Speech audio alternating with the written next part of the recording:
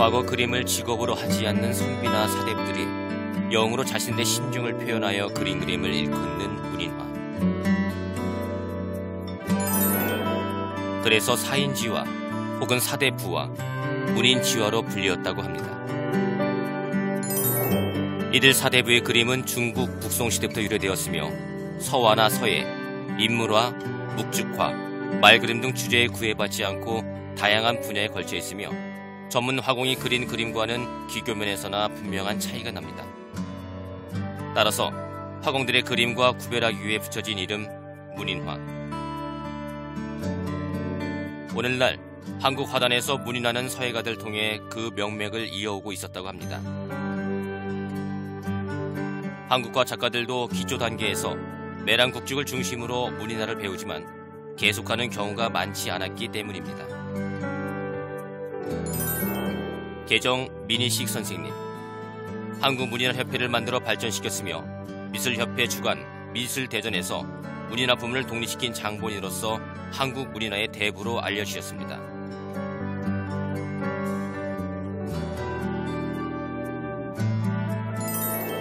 한국 문인화를 현대적 개념으로 재해석해 독보적인 화고로 정평에 나 계신 개정 민희식 선생님을 만나봅니다.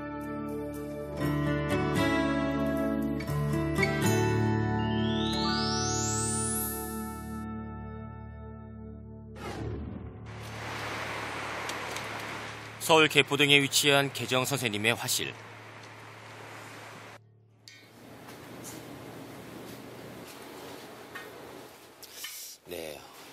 한국 미술 예전에 우리 미니시 선생님이 참여하셨던 그런 대회의 포스터를 좀 제가 봤는데요. 아, 자세하게 사군자가 무엇이다라고 제가 딱히 말씀을 못 드리겠습니다. 왜냐하면 그만큼 포괄적이고 또 예술성을 또 가진 이런 작품 세계이기 때문에 지금 어, 보니까 우리 개정 미니시 선생님의 어, 또 이렇게 또 정열과 사랑을 또 배우고 싶으신 우리 수제자분들이 좀 많이 오셨습니다. 오늘 어떤 수업을 하는지 제가 직접 참여를 한번 해보도록 하겠습니다. 가시죠. 네. 자, 매주 화요일이면 이곳 화실에서 제자들의 작품을 지도가 계신 개정 민희식 선생님. 안녕하세요. 예, 안녕하세요. 예. 자, 우리 선생님께서 지금 어, 제자분들하고 수업을 하시기 위해서 지금 모여 계시는데요. 제가 어, 바- 방해가 안 된다면요. 선생님의 그 또 작품 세계를 제가 좀 알고 싶기도 해서 같이 참여를 좀 해보는 것도 괜찮지 않을까 싶어서 왔습니다. 예, 잘 오셨어요. 그러면 저도 참여를 해도 대한민국 최고의 사군자 대가이신 우리 민희식 선생님의 작품 세계를 제가 한번 직접 참여를 해보도록 하겠습니다. 그러면은 네 기왕이면 약 이렇게 또 7, 8분 정도의 제자분들이 예, 아유, 정말 안녕하세요. 조용한 분위기 예, 속에서 아유, 수업을 반갑습니다. 받고 예. 계십니다. 우리 민희 선생님 어, 이렇게 또 작품 세계 함께 하시기 위해서 이렇게 참여를 하셨는데 어, 어떻게 참여를 하시게 되셨어요?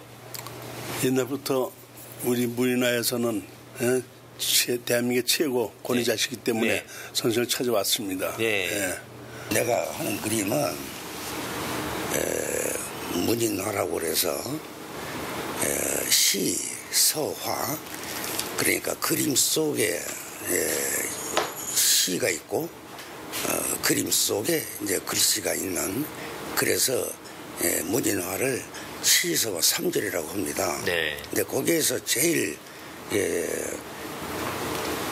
표현하는 그 그림 자체가 에, 모필의 이 특성을 살린 어, 이 선을 위주로 수묵 단초로 해서 선을 위주로 하기 때문에 에,